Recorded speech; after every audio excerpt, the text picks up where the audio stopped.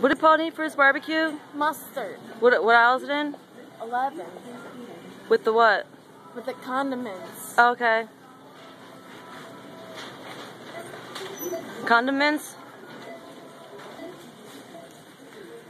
Yeah, this is aisle 11 with all the condiments. The rice salad dressings, kosher canned meat, and condiments. Uh, it's barbecue sauce. There's the mustard. There's the condiments. Oh. You get the mints, I'll get the condoms. What about the mustard? Mr. Mustard? Shusco? Ah, that's not fun enough. Something spicy. How about